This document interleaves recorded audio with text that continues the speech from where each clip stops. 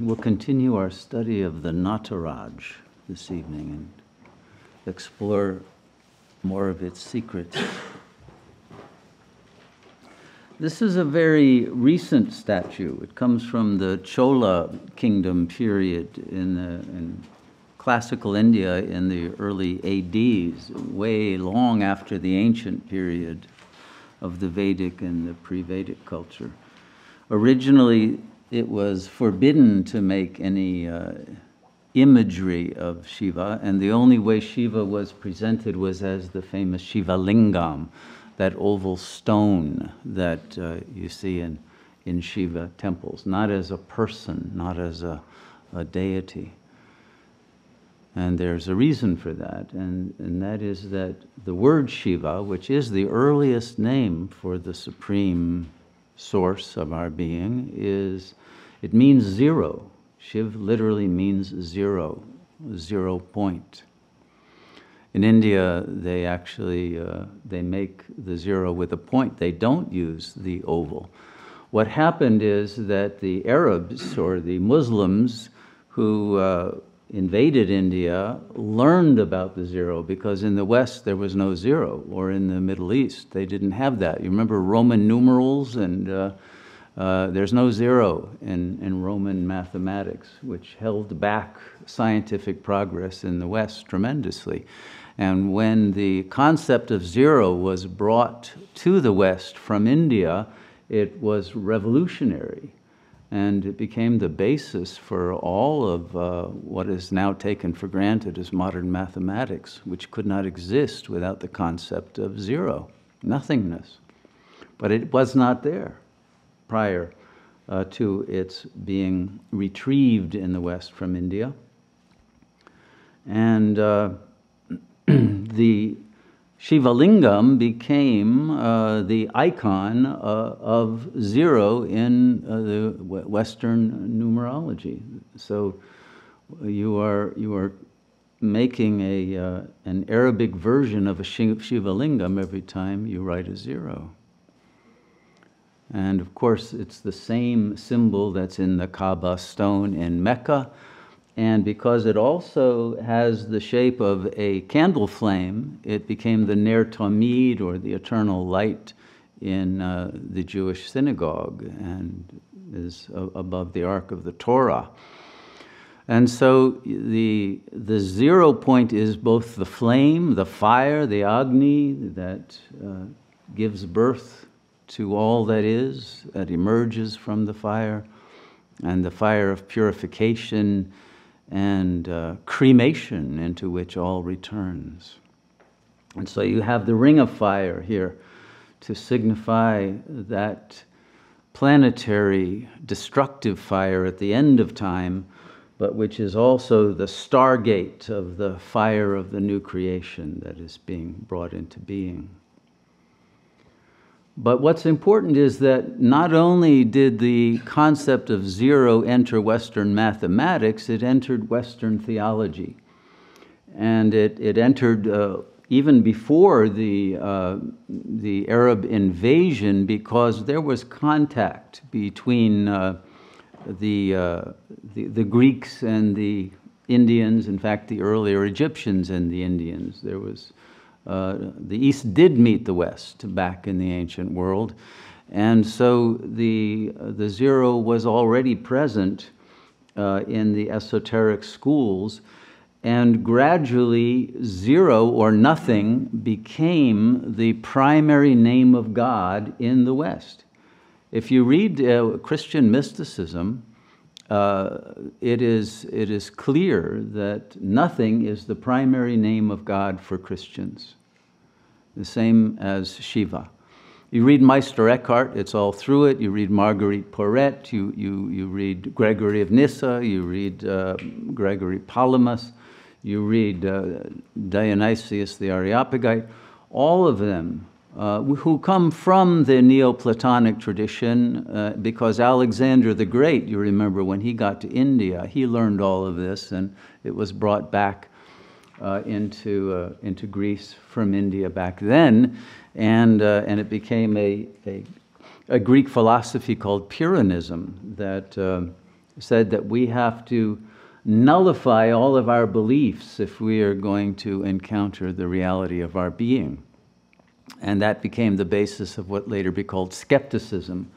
But skepticism itself is already a degradation because that's a belief that you shouldn't believe. But what Pyrrhonism was, was you have to go beyond both belief and disbelief to a state of consciousness that is nothingness. It contains no thought. And that's when you encounter that level of consciousness that is the God self.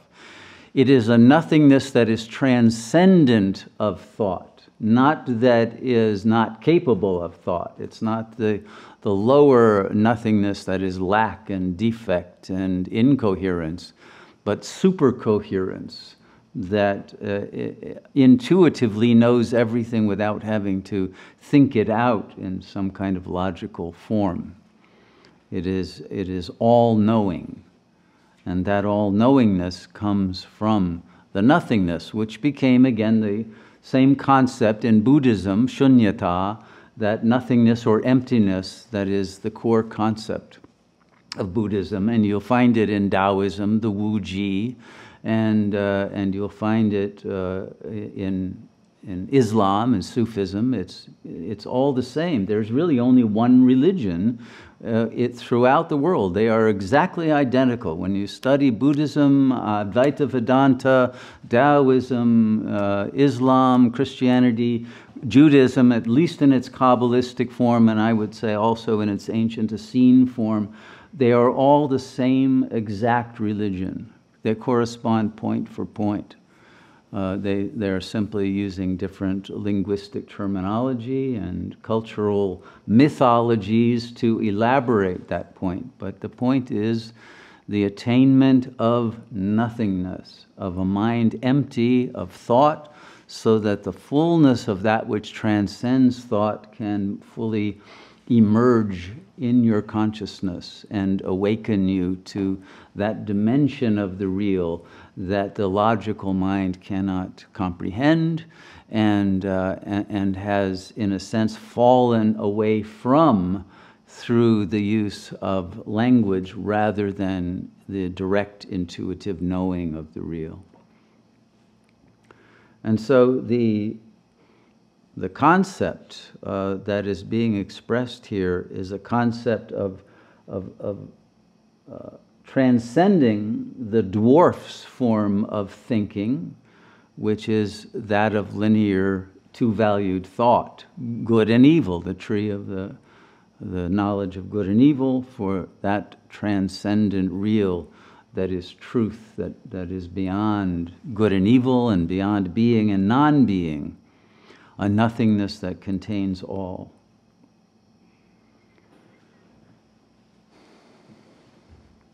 There, it, I don't know if this particular version of Nataraj has enough detail to notice it, but uh, the uh, Shiva here is wearing two earrings. On one side it's a male earring, and on the other side it's a female earring. This is a version of Ardha Narishvara, which means the Lord who is half woman that it is understood that God is not the Father only, but the Mother, the, the source that contains both the yin and the yang, the masculine and the feminine, love as well as wisdom and truth, and, uh, and that there is a complete balance, not uh, any uh, superiority of a patriarchal form, but uh, a power that is uh, expresses the wholeness beyond gender difference. Another aspect, well, of course, you have the, the wild flowing hair uh, that, uh, of, the, of the sadhu, and in the hair is the Ganga, the holy river Ganges that flows down, which is the, uh, the water of human kindness, the water of life that uh, is given from the head of Shiva. Life comes out of the source of being. It is fire, but it is also water. So you have both elements, and then, of course, you have the earth element, you have the air as mind, and you have the ether in, in which this uh, nothingness, uh, which is also the unified quantum field, gives birth to the quantum wave functions that produce the forms of the world.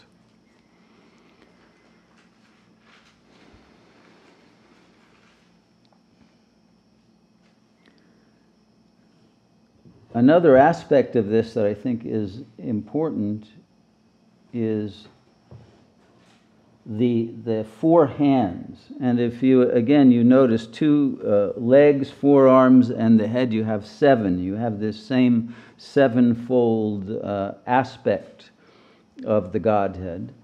But the, uh, the, the forward left hand, which is you know, moving downward, which is backed up by the its back left hand, which is holding the Agni, the sacred fire.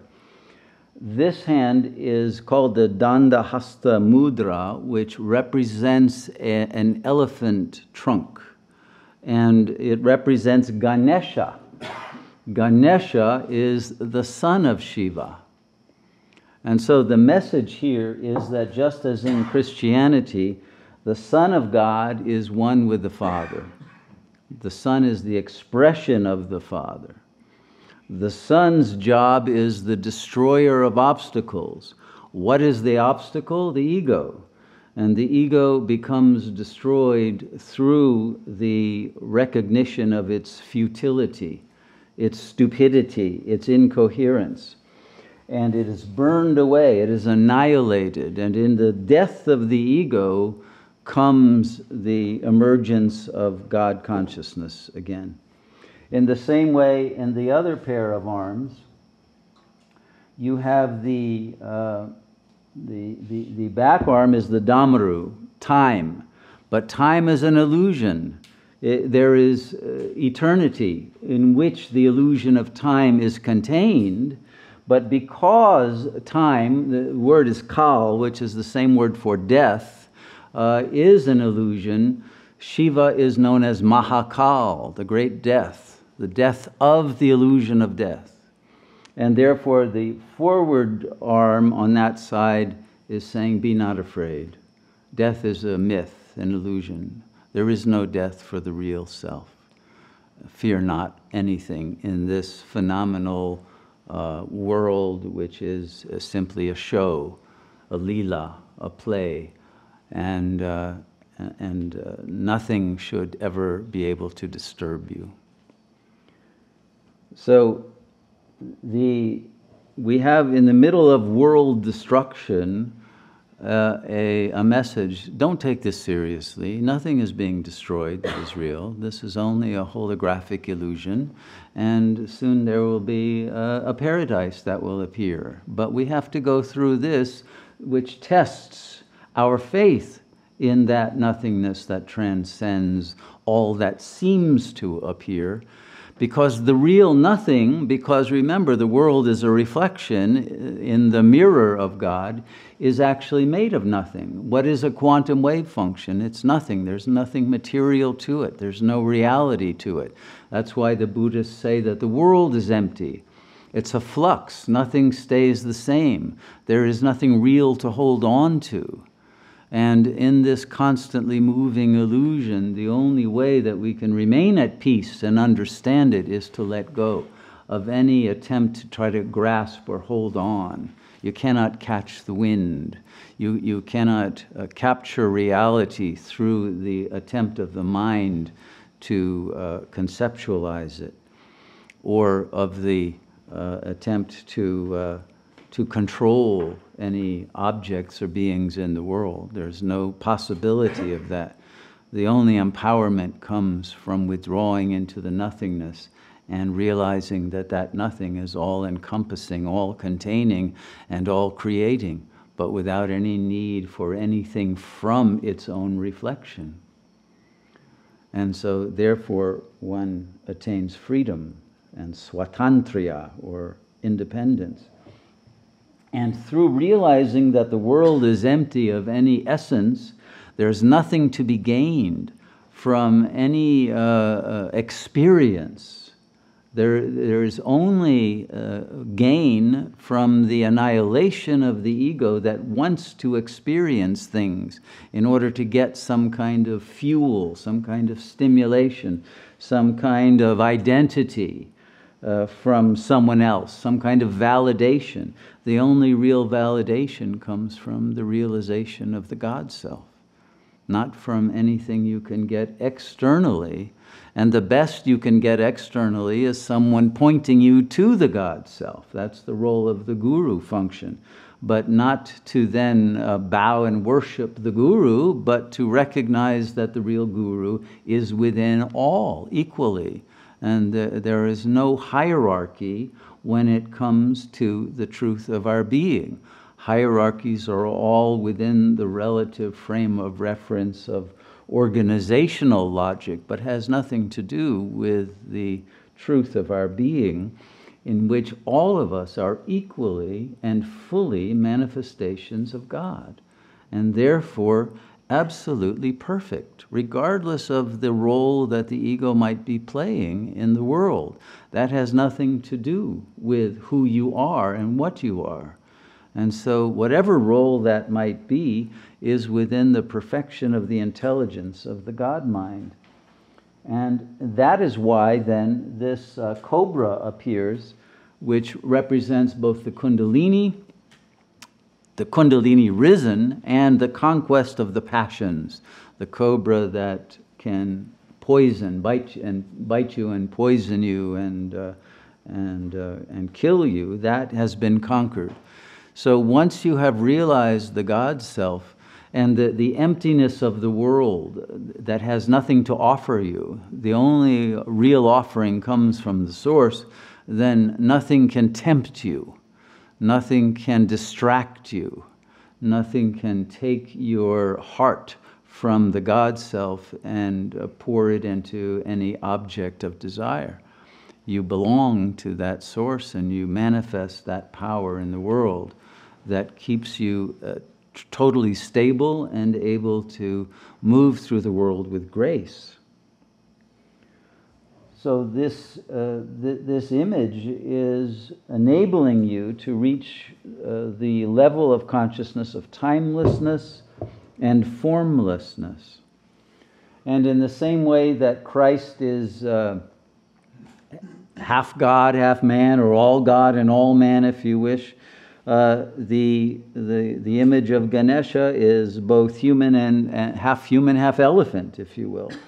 Uh, but the elephant represents that superhuman power uh, of nature uh, of, to, uh, to create beings that, that are monumental.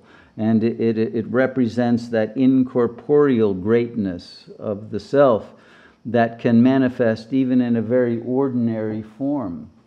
But it is, it is this recognition that no matter how uh, your form is, you are always the manifestation of the formless. And so never get worried about what you look like or how you appear to others. It is only your non appearing, qualityless self that is real.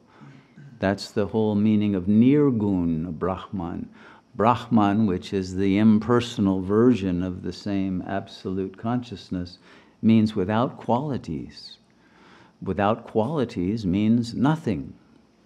So it is that no thingness that is beyond the creation, not less than or a defective version of, but that which is beyond and has no need to condescend to exist or to take form.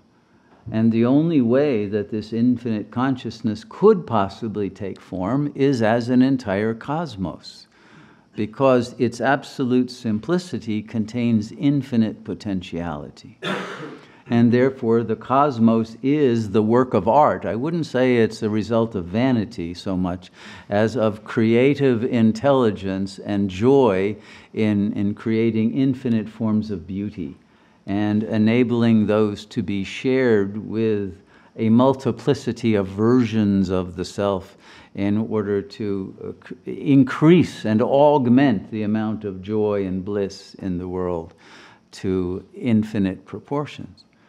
And so it is, it is all about joy and it is all about beauty, goodness, and truth. It's not about suffering. But once the dwarf comes in, who through the, the being conquered by beauty and wanting to possess it because it has forgotten its qualityless nature and has taken it mistakenly as a defect and a lack, uh, has entered into a state through the power of its own consciousness because it believes in its lack of being. Now it has a lack of being. It has created an egoic structure of consciousness that, in fact, has fallen into illusion and ignorance of its own nature. But that had to happen in order for the joy of the revelation of that nature again to be able to appear. So without ignorance, you wouldn't have the astonishment of awakening and illumination, and who would want that, right? So uh, there has to be this cycle of day and night, awakening and falling into the sleep of ignorance, and then awakening again. And this Nataraj represents the moment of awakening. And the moment of awakening to the God self also happens to be the moment of the destruction of the world of the dwarves and the restoration of the world of the gods and goddesses who uh, will be the avatars of that nothingness and who will be able to maintain that level of awakened consciousness for another age so that uh, life becomes again a, a party, a place of total joy and absolute magical capacities that have atrophied because we have projected our desire for magic into technology. And so we, we prefer the magic of an iPhone to the magic of telepathic communication with each other without needing any phones, all right? And uh, we somehow prefer Facebook to the faceless self that uh, can have its internet connection with everyone. But it's that holy communion in which all of us are once again connected to one another without the intermediary of computers and uh, of electricity that enables the world to function with absolute perfection without getting in each other's way or our own way because our own consciousness has become incoherent. But to make all of the fragments of consciousness coherent, they all have to point to the same source. They have to point toward the nothing that has emanated them into apparent uh, beingness, or at least becomingness. And that can only happen if all of the fragments of your ego simultaneously rise in love with God, okay, with, this, with the source. They're never going to love each other because they're antagonistic fragments, in the same way that uh, you, they, there will be two norths of the magnet that will never come together. The, uh, the elements of the ego are in conflict and, uh, and they all want different things. And that's why the, the ego had to dissociate from its own center in order to be able to uh, develop and maintain conflicting goals because it wanted to satisfy the demands of different people and, uh, and different forces within the social order, uh, which required uh, different subpersonalities. But once we recognize that we are not subjected to that order except voluntarily, and we decide to surrender to God rather than the big other of society or the medium other of a family system, then we will once again have the power of the love of that source drawing us back into that core of the zero point. And all of the ego fragments will melt in the fire of purification, and the God self will reemerge as who you are with the knowledge that this is who you have always been and cannot be any different because the self is changeless and beyond time or space or form, and therefore uh, beyond being a thing that could be changed. The self is not a composite, it's not made of parts. And its absolute simplicity then is never disturbable by any events. So, this is the consciousness that we are to regain through meditation. But we can only do that when we recognize that there is a level of consciousness transcendent of thought. And we have such a level of curiosity about it that we want to know who am I, who is beyond thought and creating thought, so that higher kinds of thought, more intelligent thoughts, can be put into the mind from that source rather than the repetitive thoughts that have been placed on the tape machine of the mind in childhood and through a faulty educational system. But the thoughts that come directly from the source that are accurate and that can therefore understand the universe. So it is an educational process to let go of all of the beliefs that the ego has and is in order to recognize the non egoic self, uncreated, ungendered, without form, without any objective correlative, that is pure presence, pure awareness, pure intelligence, pure light, pure love. And that is what emerges within everyone if you are willing to discover who you really are and not settle for an illusory self image that you've been told you are or that others want you to be for their sake. When you are free to discover and to abide as who you are, you will discover that you are none other than the supreme beingness. Not a person, the, the jnani, the one who gains the knowledge, gains it at the cost of believing him or herself to be a separate person. There is only jnana, not ajnani. This is a very important point. The knowledge that is gained in God consciousness can never be appropriated by an ego who will then feel superior and try to use that knowledge to gain control over others. It's a fail safe method. You can pretend to do that. But the moment that the ego comes back and wants to say, I am God, and, and say that from the perspective of an embodied being, all of that knowledge is lost. And, and one is, uh, is back in the imprisonment of a megalomaniac ego with, with psychopathic tendencies, but without any power to effect the, uh, the power of, of God.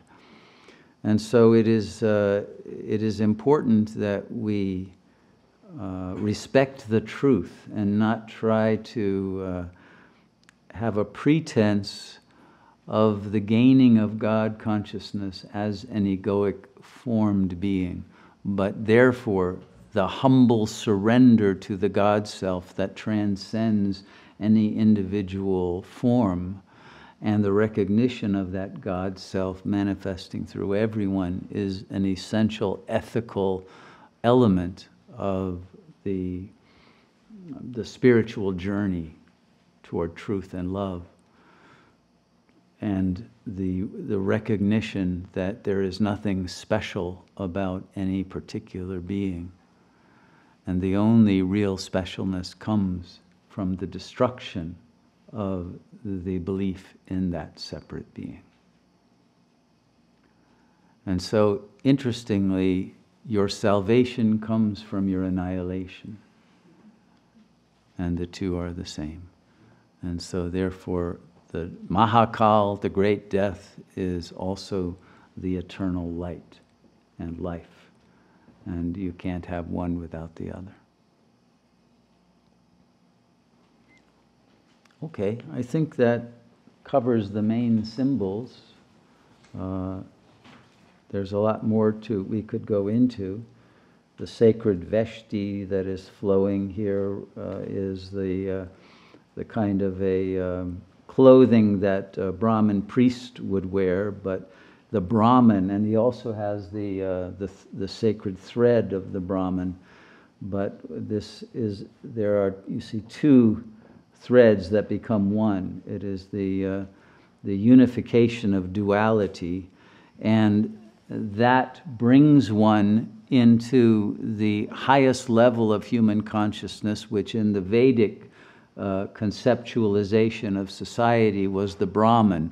The Brahmin represented that class of beings who, uh, for Plato in his Republic, would be called the philosopher kings.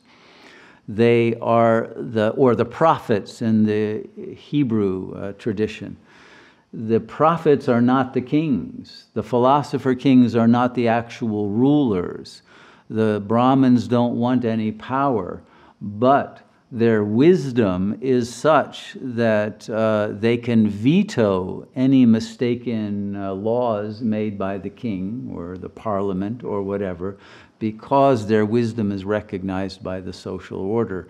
And, and thus the society can be kept on an even keel and accurately and uncorruptibly moving through time, so long as there is a class of beings dedicated to being in God consciousness and who are not interested in rule or in wealth or in uh, prestige or power of any other sort than the transmission of wisdom.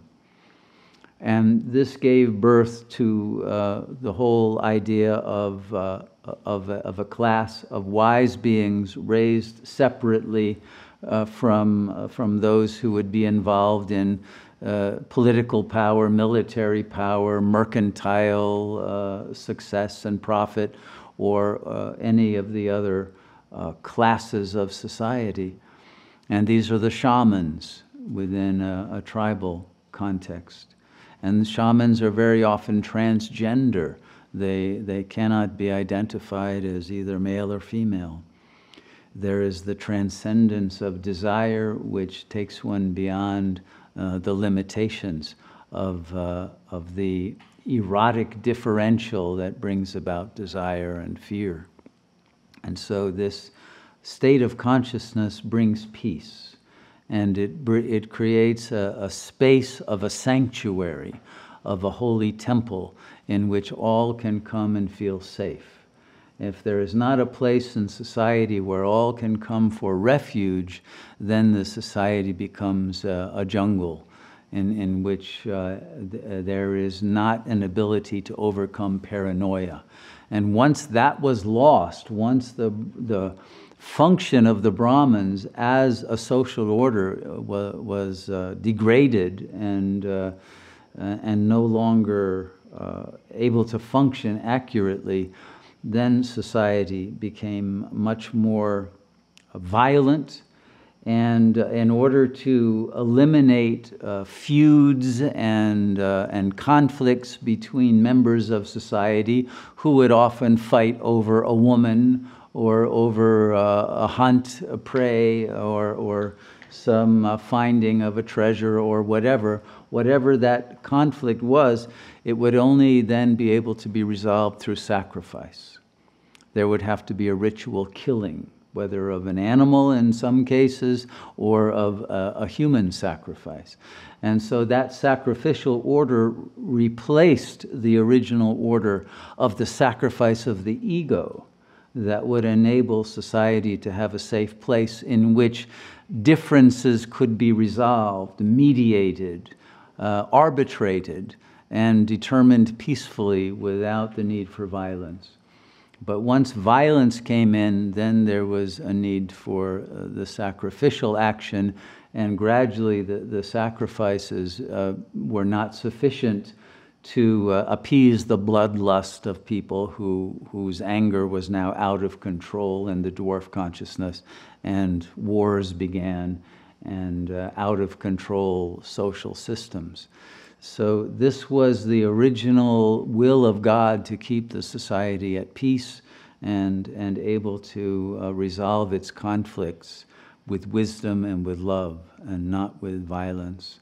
And it's that return to nonviolence, to a communal nonviolence, a community that is a, a refuge and a place where people can come to be unburdened by their inner conflicts and outer ones, that is the function of the ashram or the monastery in, in Western terms. And it is uh, that function of the monk or of the yogi to be able to maintain an oasis of peace even uh, in a world at war. And so we are continuing that great tradition and hoping that these oases from the grassroots will uh, gradually uh, sprout up in all various uh, regions of the planet and give birth to a new network of uh, peaceful social orders that are integratable and in harmony with that supreme principle of love and truth. And so you're all invited to be a part of this great movement of awakening and uh, the creation of these oases of peace that the world itself is meant to be. Namaste. So, floor is open if anyone has any comments, questions. Yes. I have just a doubt about the Ganges River. You just said. Uh huh. Yes. Um, that it's like represents like the hair of, of Shiva. Mm-hmm. But in the case of Vishnu, eh, it's like the seven snakes that it's always protecting Vishnu. Is it the same? Yes, the same. This cobra represents all seven of those. Those are the seven chakras. And There's also a, a creature with seven uh, snake heads in the Apocalypse. Mhm, yeah. the same thing. Same thing. Yeah. Same imagery goes throughout all the religions. You'll see it in, in Buddhism as well. Why snakes? Well, uh, first of all, the, the snake is a very uncanny creature that is able to move uh, in, in ways that are extraordinary without legs or arms. And the Kundalini has the same wave function. And the, the yogis recognize that the universe is just made up of waves. That's all it is cosmic waves, quantum waves, and the snake represents the wave function of the movement of the energies within the body, up the chakras, the kundalini that eventually light up the third eye, the pineal gland. And so it- the snake was a perfect uh, image of uh, that uh, animated wave that moves gracefully through the world silently and can strike. Uh, uh, instantly from uh, the secret depths of the grass. And, and uh, it, is, uh, it is a creature that has always uh, created awe in the minds of, of humans. And that's why the snake charming modality became so famous in India. And you still see that, that, that there are snake charmers who will use a cobra and they will kiss the cobra on the head, and, and the cobra will recognize uh, its, uh, its power and will not strike, even though it could kill the person, but it will uh, abide by, by that recognition of love and honoring of its being.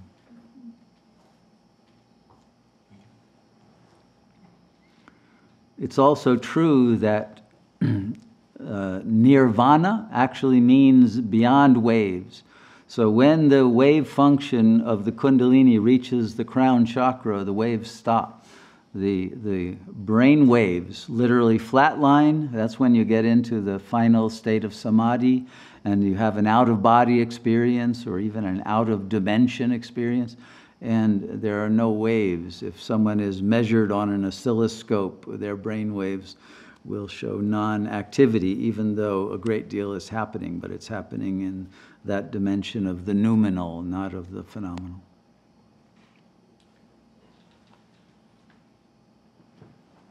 So along those lines of, um,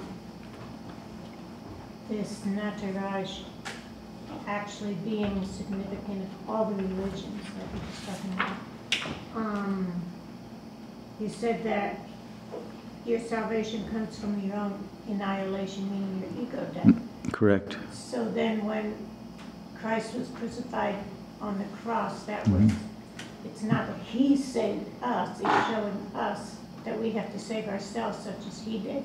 That's right. He's a metaphor for every man, every, every being. And that's why after Christ, Jesus is crucified, not Christ, Jesus. And, and uh, the esoteric Christians make a distinction. The Christ soul, that, that being of light, did not uh, do any bad karma to suffer, whereas Jesus may have. Uh, so um, the, uh, the crucifixion of the ego, the, of the Jesus, in order for the ascension of the Christ, first had to, uh, the, after the crucifixion and the death of Jesus, he had to go to hell for three days. He went through the harrowing of hell. He had to kill all the demons in hell. This means he had to destroy his shadow. That's what the hell realm is it's the realm of the shadow. So once your ego has been crucified and died, then the, your unconscious becomes totally conscious. You can't run away from it anymore, and you have to slay all of those demons, but now you have the power to slay them because you are now a being of light who is no longer influenced by those temptations. And, uh, and then it's after the three days in hell that, uh, that Christ rises into the light and ascends to the right hand of God. The right hand being that hand of be not afraid, of the hand of blessings, right? So it is, it is uh, a process that represents the psychological process of all of us. It's not a historical document in the Gospels, but it's a, a teaching uh, about what each of us has to go through. So then when he said, into, into thy hands I commend my spirit, it's the surrendering. Uh-huh. That's right, the surrender of your consciousness. Once you let go of the ego, what you are doing is entering into the void of infinite consciousness, and there's a terror of infinity. And so uh, there has to be, at that moment of transition, while there is still a sense of individuality, but nothing to hold on to any longer, uh, there has to be faith in surrendering to the void because one will go through one's own annihilation, literally and it will be either terrifying or blissful depending on your level of faith. Okay? Does, does this mean that uh, the true slaying the demons starts after the um, ego death? Let's put it this way most of the demons you won't even know about until the censor has been killed, right? Because it remains subconscious or you will only know the demons in projected form or karmic form. But the actual root of demonic sanskaras or tendencies of the soul lie very hidden in the depths of our subconscious. And so it's really only when uh, the ego has been destroyed that we can dive that deep down into the ocean of consciousness and, uh, and retrieve both the pearl of great price that's down there and destroy the demonic entities that are keeping it from us. So, uh, yes, I, I, think it's very uh, much the case that it's after, at least after the first levels of ego death, that the real uh, deep uh, destruction of the sanskaras happens, that they're burned away at the core. Before that, you can cut off the heads of the demons, but they'll grow new heads, right? Like the hydras. And that's why people who've gone through psychoanalysis, all, they all come here and say, Oh, I've already done that. I've dealt with all my traumas. And then they come up again and they say, Oh my God, I thought I was done with all of that. No, they weren't done with that. They were just done with the surface level of it. And when you really get to, down to the real demon in, in the depths, they're tough and, uh, and they can't be killed except by a laser Vajra beam of uh, total divine energy. Nothing else will do it. How to enchant this, this uh, the Agni fire, the fire which will burn those uh, demons? And, How to build the fire? yes. Silence. Silence builds it. It's through the refusal to think that the, the concentration, you know, concentration is like a, a, uh, a magnifying glass. You know, if you want to set something on fire, you put a magnifying glass and the sun goes through it, right? So the light of consciousness, once there is silence, gets a laser beam like magnification. And that's when it's able to burn the demons. But, and what you'll find is when you're silent, the pineal gland will light up, your whole brain will light up, there'll be a tremendous pressure, there'll be a fire. It's literally destroying the demons that are in the neurons of the brain and, uh, and dissolving them and enabling the whole nervous system to function differently from that place of, uh, of true knowledge and uh, of harmony with nature. So the, uh, the ego mind has to be destroyed in the body itself. And that will happen through the sustaining of the silence and the refusal to, uh, to distract your mind into the levels of thought that, in which the demons will then control you again, right? And so the refusal to think is the refusal to allow uh, the demons to seduce you and entertain you and distract you from what you're doing. And when you cannot be distracted, that's when the power destroys them utterly. No, go ahead. But uh, does this, um, uh, this refusal from uh, distraction, even the slightest movement of the body when you are... No, it has nothing to do with the body. Don't worry about the body. It's the mind that you don't want to move. The body can move. That's why you can meditate while you're dancing or cooking or what, doing whatever work you're doing. It has nothing to do with the state of the body. It's the state of presence in which you're not spacing out or having daydreams or fantasies. You're totally present. And it's in that absolute presence then that only divine consciousness can, can uh, settle in the brain. It's that willingness to abide as pure presence that, that transforms everything. Okay? But the body can move. It's just you don't want brain waves to move. Okay? I have a, I have a question. Mm-hmm. Um, on on a day-to-day basis, because of uh, our, our working life, etc. it's very hard to just stay in the moment. We have so many different things to do, we're overly. No, it's not. That's an excuse. Is it? Yeah. Yeah. You see, your mind will try to convince you of that and justify not being in a meditative state. There's no truth to it. And, uh, and Ramana said that, and Anandamayi Ma, and all of them. And that's why there, there's, uh, there's no busier place in the world than an ashram.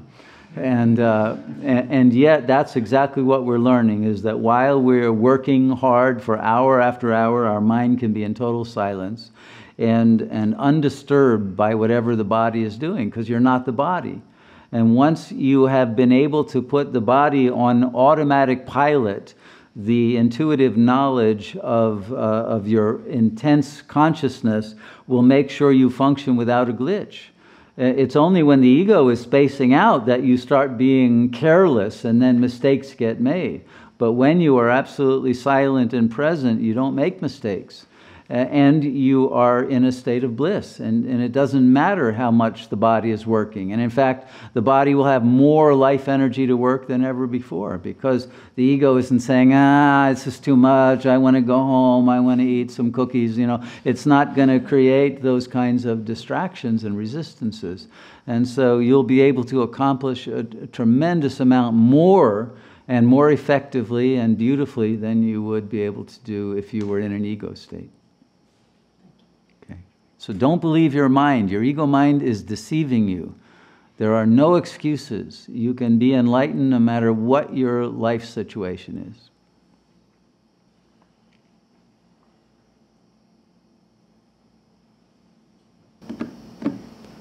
Yes. You spoke uh, this morning a few times. You mentioned the word innocence. Mm. And I think the word innocence is very misinterpreted, perhaps by our society. It's a, a much higher state that Mm. you were referring to. Mhm. I wanted to see if you could speak a little more about it. Innocence, in a sense. but in no sense can it be described accurately. Uh, because uh, innocence is uh, not naivete, it's not gullibility, uh, it's not a lack of experience, but it is a rebirth into the truth of our being that has never entered into the created world. And so the innocence is the uncreated self, the unborn, the, the undefiled, undegraded real of what we are that reawakens to its own nature and then is able to live in the world without judgments, without projections, without the defilement uh, of any other being, but the recognition of the innocence of all and the perfection of all and the godhood of all. And so the uh, innocence is, I would say, the ultimate attainment of consciousness not the state we start out with, although it says be as little children in that sense before children are, are tempted by eros or uh, by all of the other social uh, uh, demands and offerings of, of political and financial power, etc. But it is uh, an innocence that is, is simply the uh, the automatic and natural expression of love and uh, creativity, which is our being. It's about that. And in that state, then, uh, wonders emerge. Uh, we will be in a, a, constant state of astonishment, of joy, uh, because every moment is new and everything is infinitely interesting and beautiful, whether it's the insects or the plants or the, the clouds or the sunsets or whatever. The world is filled with beauty, infinite beauty. And that innocence is the capacity to drink in that beauty and express it and dance it and sing it and be completely uninhibited in one's expression of love and joy. So we have to be willing to shine and uh, not be inhibited or hiding uh, who we are from the world or from ourselves. Okay.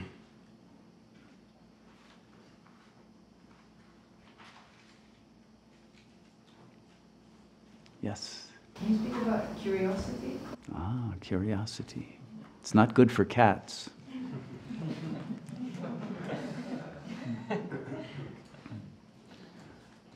There's a natural curiosity that the ego has in wanting to understand how things work.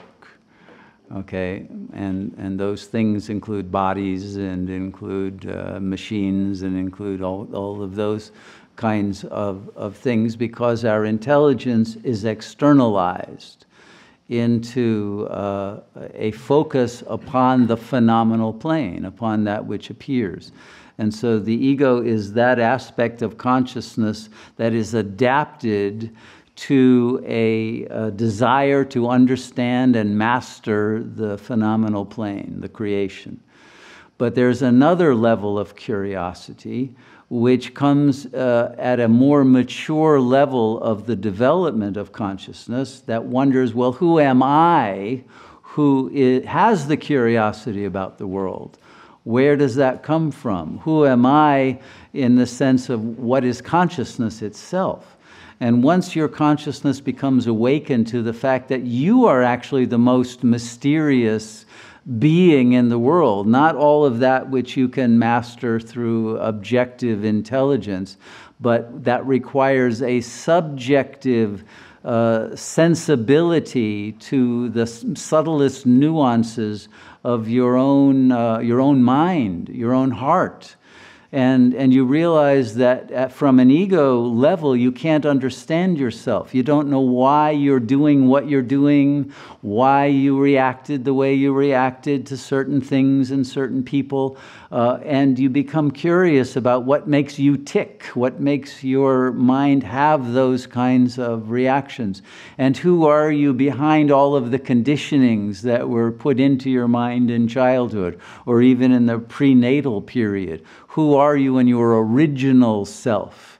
Once that curiosity gets activated, which is also what we call the upper death drive, because you want to die to the conditioned self to discover the unconditioned self, that curiosity becomes a, a, a yearning that, that, that has to be fulfilled. It becomes more important than anything else you can do. And the curiosity that had been externalized is now completely internalized. So that the, the full power of your ability to know yourself is actualized. And then, in the satisfaction of that curiosity through the discovery of your divine nature, then you become curious on how that true nature of yours can be used to heal the world. How, how, how can I become a catalyst for the healing of suffering souls or a, a planet in a, in a state of destruction and moribund webs of nature? How can I be uh, a, an agent of uh, positive change and transformation and restoration of the divine beauty of the world? So the curiosity moves in those three phases. And then finally, it is satisfied through the absolute understanding of the God self. And, and curiosity comes to an end and is, is simply replaced by that infinite uh, uh, radiance and splendor of the self that, through its mere being, effects the transformation of its own dream which is the universe. And it's that last level of revelation and redemption that is the fulfillment of our real curiosity. Is that helpful? Good.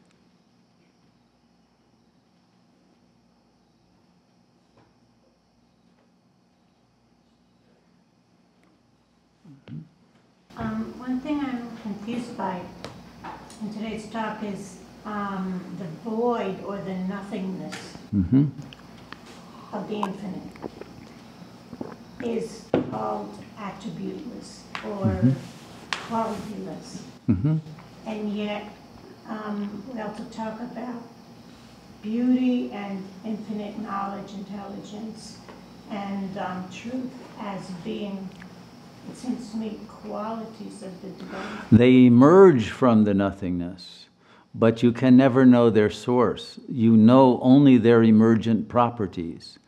You know the explicate order, and you know that the explicate order of the world must depend on an implicate order, but you cannot know that order with the same mind that you know the explicate order. It is unknowable by the mind that wants to grasp things conceptually. It cannot be known because you are it. And that's why the world has to exist as the reflection of God. The beauty can appear only in the world, but the actual beauty is the self that is formless. But we think of beauty as the beauty of forms, right? But it is actually the formless intelligence and love that creates the beauty of form and reflects that beauty. And so, but you cannot know the formless directly with the same level of mind. You have to transcend that mind and enter the nothingness, the unknowable self. Unknowable as an object. It's not a thing, it's a no thing. But you are that no thing. And you are that qualityless presence. Once you have disidentified from the body and the self images that the ego has, you are imageless and you are formless. And, and, but you are filled with infinite intelligence and love and power. And it's unobstructed once you have entered the nothingness. But the somethingness obstructs, it creates the obstacles that keep you as a limited somebody instead of the nothing that is everything. Okay? Yes. You mentioned technology and you were mentioning Facebook and how technology has completely changed our generation. I just Mm. wanted to know your thoughts about what you foresee in the future. Do you feel it's going to get worse? And Can't get much worse. What's going to happen, you know, in a hundred years from now if we keep on going the way we're going? Well, we're not going to keep going the way we're going. That's the whole point of it. Uh, uh, in every uh, scripture, whether it's the Bhagavad Gita or uh, the Buddhist scriptures or the New Testament or the book of Revelations, i every, uh, every scripture says words to the effect that when things get really bad on, on, in the world, I'm coming back. Okay? like the Terminator, right? And, and that's God's role. Shiva is the terminator, right? That's his role, destruction. Uh, and he's going to make sure that the suffering comes to an end and take the world out of its misery. So it's not going to be allowed to go on much longer the way it's going because too many people are suffering and oppressed. And there's already a planetary subconscious desire of the masses to get this over with because there's no way out. They're starving, they're, they're unable to, to have any rights, any, any voice in the world. They, they are being stamped uh, uh, upon and, and they, they will, do not tolerate it but they are, they are creating an energy field in which that um, massive uh, self destruction is becoming the force that is moving uh, the political world uh, toward its insanity uh, of, of creating a conflict between uh, the West and Russia and China. Uh, and, and uh, these uh, powers have the ability to thermonuclear destroy the world within about nine minutes. Uh, there are enough hypersonic nuclear delivery systems that will destroy uh, nearly all the population centers of the world just like that. And if you're near ground zero, you get incinerated before you even feel the pain of the nuclear fire of this ring of fire. You're gone. Uh, so, in a way, it's the most merciful death. The great death, the Mahakal, is on his way, okay? But it is also what happens to the souls who die in that conflagration all in one day, an, a massive die off of the human population. Those souls come back to the light and they return to bliss. And then there will be another cycle, starting with a very small population, but it will be a new time and we'll have amnesia just like we now have amnesia for our past. Most people don't know our real history, and history is not taught accurately in schools. And, and prior to ancient Egypt, they don't know anything about history, but they do know we had higher technology then uh, than we have now, because we can't build pyramids now. There's no way we could even uh, uh try to accomplish that, let alone other of the old wonders of the ancient world.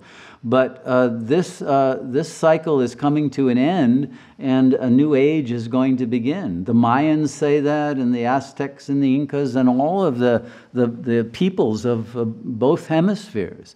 And, and so it's, it's written into the legends and the mythology uh, of every, every religion, every tradition, that the Mahdi is coming, or Maitreya, or the final Buddha, the final Kalki, avatar of Vishnu, the, the second coming of Christ, the, the Messiah in the Jewish tradition, whatever. They're all saying that, that there, will, there will come a final revelation, and then that's the end and a new beginning. Uh, and so that's the, the moment we're coming to, the singularity in which uh, things can't get any worse. They are already collapsing, and we're in the middle of the, what they call the sixth extinction there's a massive die off of the species of the world. There are no more bees uh, in the world. We're lucky. We have an oasis where the bee colonies actually are thriving thanks to Jagdish's love for them and, and, and uh, some others who are, are, are giving that life energy to these beautiful beings. But uh, if you don't have bees, you're not going to have pollination. You're soon not going to have fruits and vegetables and nuts and all the things that depend on, uh, on, the, the work of the bees.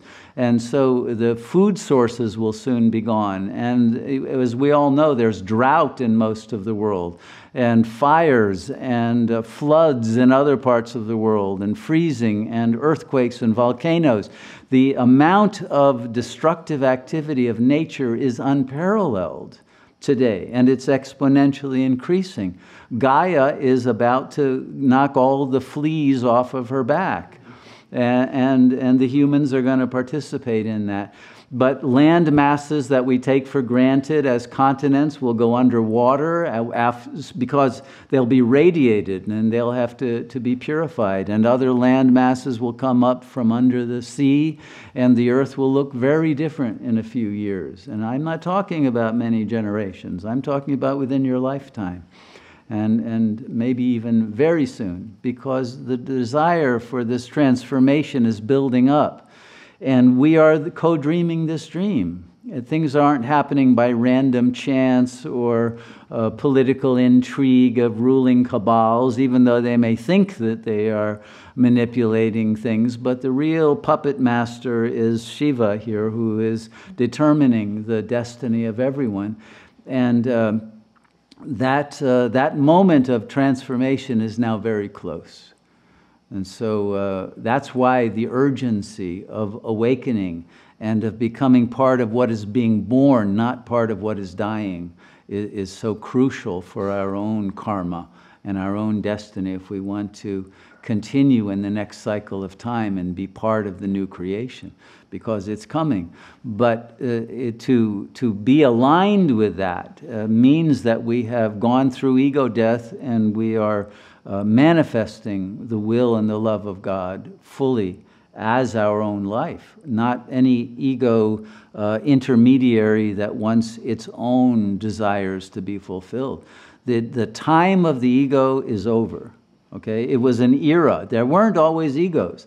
The ego is a, a, a transitory mental formation. And in the next age, we will all be egoless. That's what it means to be an avatar. You're egoless. It's pure divine consciousness that moves your body and mind through the world.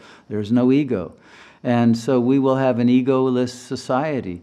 But only those who have already gone through the purification of the ego in this age will have the continuity of consciousness that will uh, enable that sense of immortality and power to, uh, to be able to be in resonance with the energy field that will be created in the next yuga, the Sat Yuga, the, the age of truth and of light and of being. And so uh, it's so important for us if we want to be part of, uh, of that movement of divinization of the world to have gone through this rite of passage of ego death. Okay. But it's happening now, and uh, there's a lot of people in denial who don't want to think about this and want, and want to believe that we can ameliorate it and we'll muddle through, and Putin is too smart to launch missiles, and et cetera, et cetera. Well, it's not the case. Uh, and, uh, and as things get bad, the only way that uh, the political system knows how to react is by diverting attention to wars. And so we see more and more of these uh, happening. And uh, the deep state in the US gets very upset when Trump pulls troops out of a war zone, you see, and, and because he is only a, a, front, he's not the real controlling power in, of the government. Uh, the, uh, the, the powers that actually move the empire are moving toward greater and greater conflict, not toward peace. And so this is all going to erupt uh, in a moment of conflagration. And we want to not be in a state of horror uh, and of body consciousness. We want to be in God consciousness when that moment hits. Okay? So that's why the, uh, the importance of, of this, these kinds of understandings that need to be disseminated in the world so all who seek uh, will know how to transform their consciousness at, before the end.